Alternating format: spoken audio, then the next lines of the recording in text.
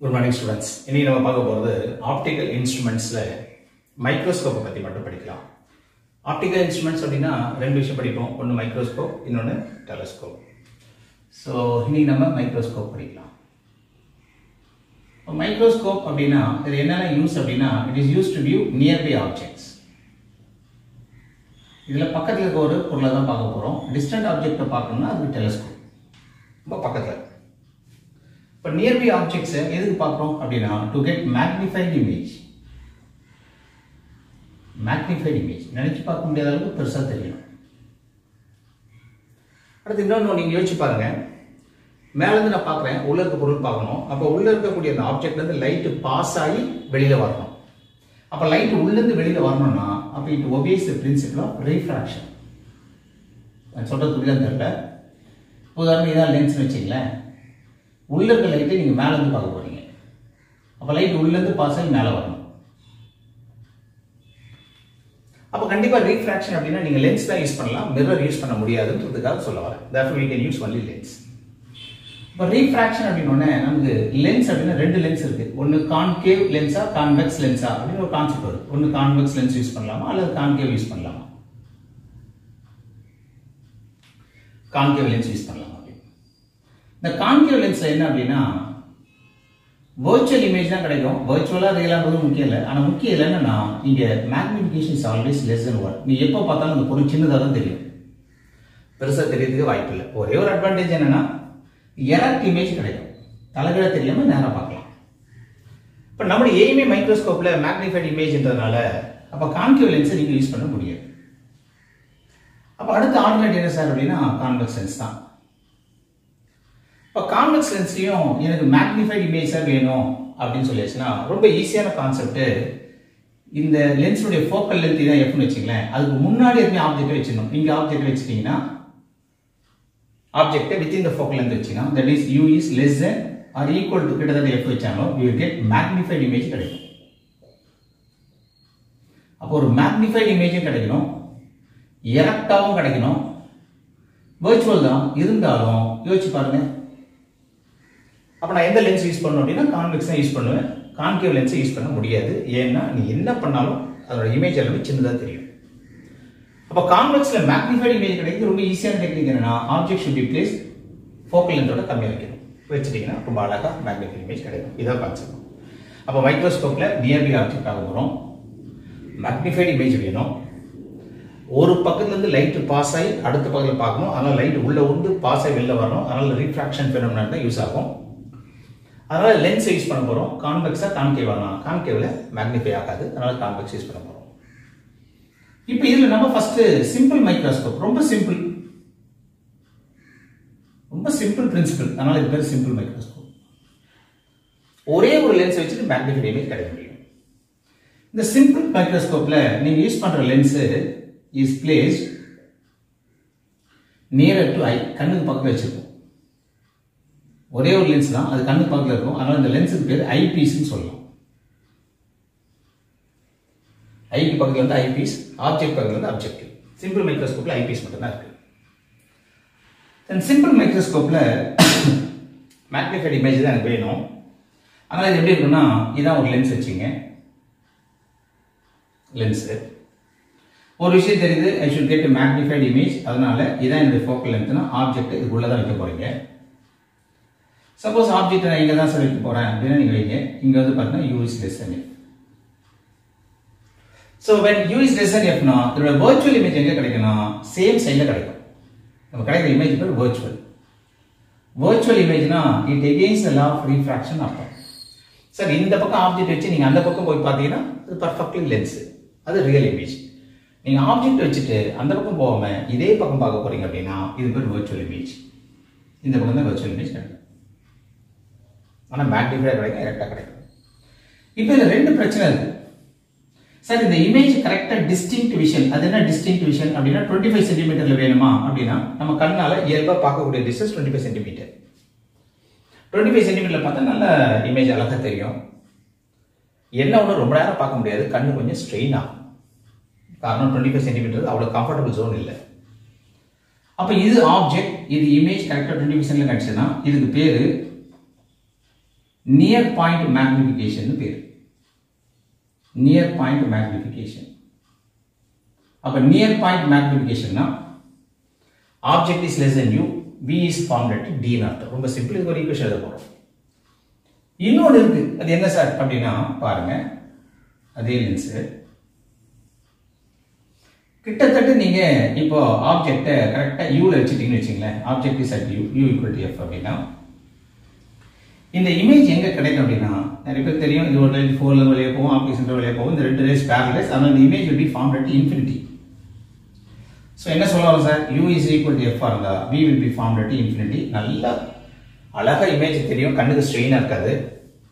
அப்படி பார்த்தீங்கன்னா இது பேர் நியர் பாயிண்ட் ஃபோக்கஸிங்னா இது பேர் நார்மல் ஃபோக்கஸிங்னு பேர்.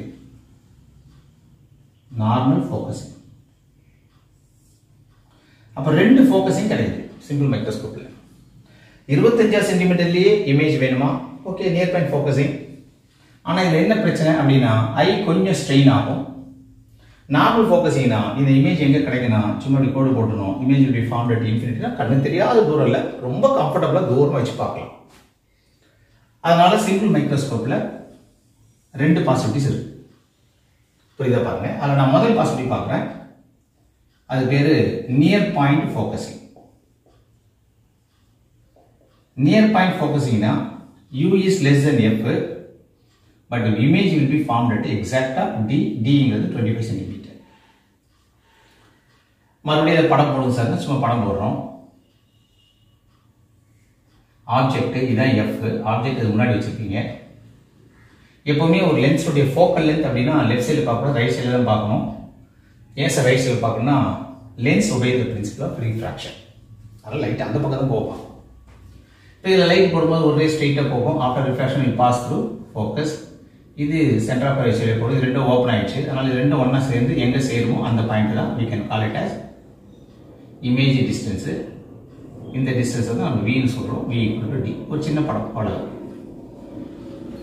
இதில் அட்வான்டேஜ் என்ன சார் அப்படின்னா படம் கொஞ்சம் நீங்கள் ஸ்ட்ரெயிட்டாக போட்டுங்க. நம்மளுக்கு படத்தில் வந்து கொஞ்சம் ஸ்ட்ரெயிட் இல்லாத மாதிரி இருக்குது நீங்கள் போட்டுக்கலாம். அது ஒன்றும் பெரிய விஷயம் இல்லை. இந்த பக்கம் வெளில போக போக ஓப்பன் ஆகிடும் சேராது. அதனால் லெஃப்ட் சைடில் தான் சேரும். அதனால் இது பேர் வச்சு இப்போ இதுக்கு மேக்னிஃபிகேஷன் ஃபார்முலா எடுக்கும் மேக்னிஃபிகேஷன்னா என்ன? ஃபார்முலா ஞாபகம் வரும்னு நினைக்கிற சில பேருக்கு. லேட்ரல் மேக்னிஃபிகேஷன் போட்டிருக்கோம். M equal to v by u இன்னொரு ஃபார்முலா போடலாம். Image distance by object distance மாதிரி image height by object item போடலாம். இப்போ நம்ம இந்த ஃபார்முலா யூஸ் பண்ண போகிறோம் m equal to v by u இது போகிறதுக்கு என்ன சார் வேணும்னா லென்ஸ் ஃபார்முலா வேணும். லென்ஸ் ஃபார்முலா ஞாபகம் நினைக்கிறேன். One by f equal to one by v minus one by u இதுதான் லென்ஸ் ஃபார்முலா என்னுடைய வசதிக்காக இந்த லென்ஸ் ஃபார்முலாவை v ஆல் மல்டிப்ளை பண்றேன். Multiply throughout by v அப்ப இது என்ன ஆயிடும்னா வி பை எஃப் ஆயிடும். வி மைனஸ் பி ஒன் ஆயிடும். இது வி பை யூ ஆயிடும். இந்த minus v by u left side கொண்டு வாங்க. Therefore v by u equal to one minus v by f இந்த v பை u தான் என்னுடைய magnification therefore magnification is 1 minus v by f. இப்போ இதில் ஒரு சைன் கன்வென்ஷன் இருக்கு. மரபு. சைன் கன்வென்ஷன் என்ன சார் அப்படின்னா ஒரு டிஸ்டன்ஸ் லெஃப்ட் சைடு எடுத்தீங்கன்னா அது நெகட்டிவ் இப்போ இதில் எஃப்ங்கிறது எப்பவுமே ரைட் சைடில் தான். இதான் எஃப் அது பாசிட்டிவ் லென்ஸுக்கு எப்போவுமே ரீஃப்ராக்ஷன் ரூல் அதனால எஃப் ரைட் சைடு தான் பார்க்கணும். சார் லெஃப்ட் சைடில் எஃப் இருக்குன்னா அது இருக்கக்கூடாது. லெஃப்ட் சைடில் எஃப் எடுத்தீங்கன்னா மிரர்னு அர்த்தம். Sir v sir v left சைடில் தான் இருக்கு. ஈக்குவல் டு டி அதனால இந்த இடத்துல என்ன பண்றோம்னா பி ஈக்குவல் டு மைனஸ் டின்னு போட போறோம். ஏன்னா v equal d this is left hand side லென்ஸுடைய மைய பிடிப்பில் ஆப்டிக் சென்டர் எல்லா டிஸ்டன்ஸும் இங்கேருந்து தான் மெஷர் பண்ணும் அப்போ எம் ஈக்குவல் எவ்வளோ ஆகும்னா? One minus into minus plus d by f மாறிடும். இதுதான் formula for magnification for near point focusing சரி. நார்மல் ஃபோக்கஸிங் எப்படி இருக்கும் சார் பார்க்கலாமா? பாருங்களேன் நார்மல் ஃபோக்கஸிங்கில் ஒரு சிக்கல் இருக்கு. என்னன்னா இதான் என்னுடைய லென்ஸு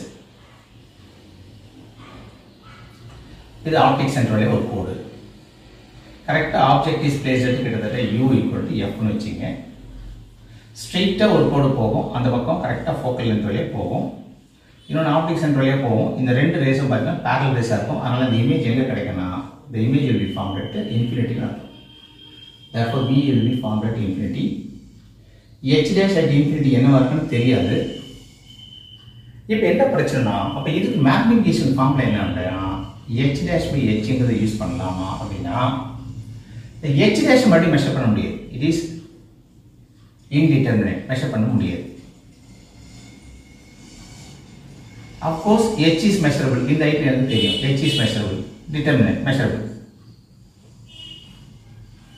ஒன்று என்ன நினைக்கிறாங்க அப்படின்னா sir m equal to h dash by ஹெச்ங்கிற ஃபார்ம்னால ஒன்று தெரியாது ஒன்று தெரியும். அதனால் இந்த ஃபார்மில் யூஸ் பண்ண முடியாது அப்போ ஆல்டர்னேட் டெக்னிக் வச்சாங்க. என்ன அப்படின்னா இந்த ஹெச் டேஷ் அப்படிங்கிறது பாருங்க. இதான் ஹெச் ஹெச் டேஷ் ஹெச் டேஷும் ஹெச்சும் ரிலேட்டட் டு ஆங்கிளோட ரிலேட் பண்ணுறாங்க தீட்டாவோட ரிலேட் பண்ணுறாங்க ஆங்கிளோட ரிலேட் பண்ணுறாங்க ரிலேட்டட் டு ஆங்கிள் அதனால ஆங்குலர் மேக்னிஃபிகேஷன் ஒரு ஆள் கண்டுபிடிக்க போகிறோம் ஆங்குலர் மேக்னிஃபிகேஷன் அது என்ன ஆங்குலர் மேக்னிஃபிகேஷன் அப்படின்னா m equal to h dash that is proportional to tan theta dash வச்சுப்போம் image divide by tan theta of object வச்சுப்போம். இது ஒரு படம் என்னன்னா நார்மலாக ஒரு மனுஷன் ஒரு ஆப்ஜெக்டை பார்க்குறான் இது நார்மலாக அன்எய்டட் ஐன்னு பேர். நார்மலாக கண்ணில் எந்த விதமான உதவியும் இல்லாமல் நீங்கள் ஒரு கண்ணில் ஒரு இமேஜை பார்க்குறீங்க. இதான் கண்ணு. கண்ணை சார்னு கேட்காதீங்க கண்ணுன்னு வச்சுங்க இது கண்ணு. ஒரு இமேஜ் வச்சு பார்க்கணும். அப்போ இந்த angle distance of the object is h இங்க உருவாகிற ஆங்கிள் ஈக்குவல் டு தீட்டானா அப்போ இதுக்கு டேன் தீட்டானா இது பேர் டிஸ்டிங்விஷன் கண்ணுக்கு ரொம்ப அழகாக பார்க்கக்கூடிய டுவெண்ட்டி ஃபைவ் சென்டிமீட்டர் இப்போ இந்த ஃபார்ம்னால டேன் தீட்டா ஈக்குவல் எவ்வளோ சார் அப்படின்னா opposite by h h by d இப்போ இந்த மாதிரி ஒரு இமேஜ் நமக்கு இன்ஃபினிட்டில் கிடைக்குன்னு வச்சுங்களேன் மறுபடியும் இந்த படத்தை போடணும். இந்த இடத்துல இங்கே தான் பார்க்குறான் இந்த இடத்துல உள்ள ஆங்கிள் என்ன இமேஜுக்கு கிடைக்கும். தட் ஈக்குவல் டு தீட்டா ஐன்னு அர்த்தம். So that is this is the image formed by இன்ஃபினிட்டியில் கிடைக்கக்கூடிய இமேஜுடைய ஆங்கிள் இது பேர் தீட்டா ஐ இதே படத்தை மறுபடியும் போடணும் நான் போடல தீட்டா ஐ அப்போ இது தீட்டா ஐனா ஆல்டர்னேட் ஆங்கிள் இதுவும் தீட்டா ஐ அப்போ இந்த படத்துல வந்து பாருங்க. இது tan தீட்டா நாட் இது tan theta i equal to எவ்வளோனா மறுபடியும் ஆப்ஜெக்ட் ஹைட் எவ்வளோனா h தான். பட் இப்போ இது பக்கத்தில் உள்ள டிஸ்டன்ஸ் எவ்வளோனா எஃப் இது அன்எய்டட் ஐ இது எய்டட் ஐ கண்ணை வந்து ஒரு ஒரு உதவியோட தட் இஸ் லென்ஸோட நீங்க பாக்குறீங்க லென்ஸோட உதவியோட பாக்குறீங்க ஒரு கண்ணு இருக்க மாதிரி அசியம் பண்றாங்க. ஒரு கண்ணு இருக்க அசியம் பண்ணுங்க ஒரு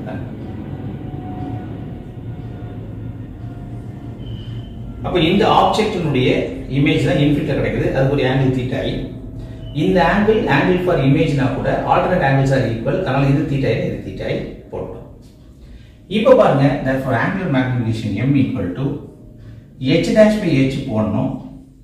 They are related to h dashங்கிறது யாருன்னா h டேஷுக்குரிய அந்த ஹைட்டு தீட்டா ஐ இதுக்குரிய ஆங்கிள் யாருன்னா theta naught theta ஐக்குரிய formula h by f.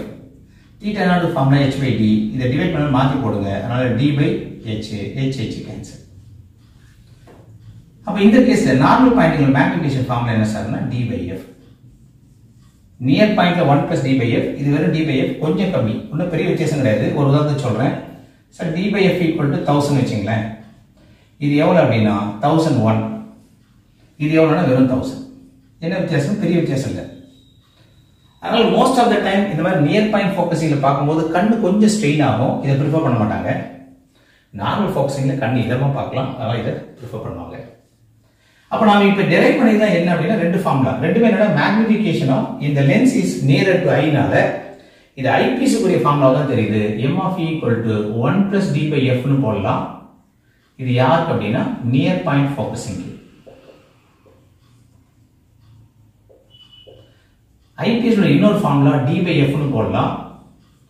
இது யாருக்குன்னா நார்மல் பாயிண்ட் ஃபோக்கஸிங் அல்லது normal focusing normal function use பண்ணலாம். இவ்வளோதான் கதை இந்த சிம்பிள் மைக்ரோஸ்கோப்புடைய கான்செப்ட் தெரிஞ்சதுன்னா இதனுடைய அடுத்த எக்ஸ்டென்ஷன் நம்ம காம்பவுண்ட் மைக்ரோஸ்கோப் யோசிக்கலாம். அப்படி ரிப்பீட் பண்ணுறேன் ஒரு மைக்ரோஸ்கோப் வந்து நியர்பை ஆப்ஜெக்டாக தான் பார்க்க போகிறோம் நல்லா பெருசாக பார்க்க போகிறோம் உள்ளேருந்து லைட்டு வெளியில் பாஸ் ஆகி வரணும். அதனால் ரீஃப்ராக்ஷன் பிரின்சிபல் தான் அதில் யூஸ் ஆக போகுது.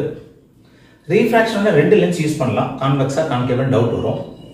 கான்கேவ்ல எப்பவுமே மேக்னிஃபிகேஷன் சின்னது. நானே பெருசா பார்க்கணும். சின்னதை பார்த்தா ஒத்துக்குமா? அதனால கான்கேவ் லென்ஸ் வேணாம். கான்வெக்ஸ் லென்ஸ் நான் பார்க்குற இமேஜ் நேரம் அழகா எரக்டா தான் தெரியணும் அப்படின்னா பெருசாவும் தெரியணும் எரக்டாவும் தெரியணும் அப்படின்னா அது ஒரே வழி u is less than F உள்ள வச்சுட்டா போதும். மேக்னிஃபைட் அண்ட் எரக்ட் ஆனால் வர்ச்சுவல் அப்போ அந்த சிம்பிள் மைக்ரோஸ்கோப்பில் லென்ஸ் கண்ணுக்கு பக்கத்தில் வச்சிருந்தனால இந்த லென்ஸுக்கு பேர் ஐபீஸ்னு சொல்லலாம்.